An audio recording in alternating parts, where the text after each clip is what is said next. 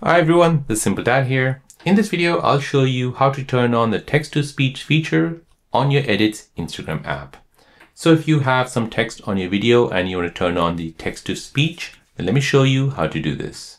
So before we begin, you want to first go to your App Store or Play Store. You want to search for the Edits Instagram app. Here you want to make sure that's been updated to the latest version. Once updated, go ahead and open the app. In the app, you want to make sure you're on the project section here. Tap on the plus sign and now go ahead and post a video or a photo, tap on add. We'll go ahead and create a new project like this. Now to turn on the text to speech feature, we need text. So we'll go ahead and type in some text.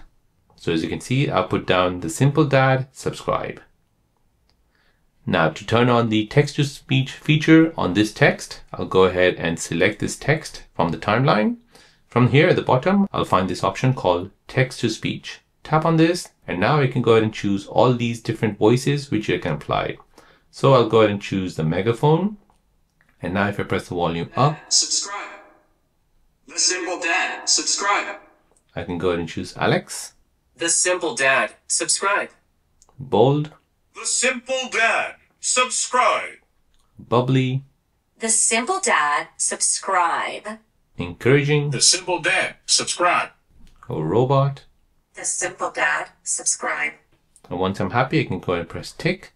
And now the text to speech feature has been applied to that text. So there you go guys. That is how to apply the text to speech feature on your video on the Edits Instagram app.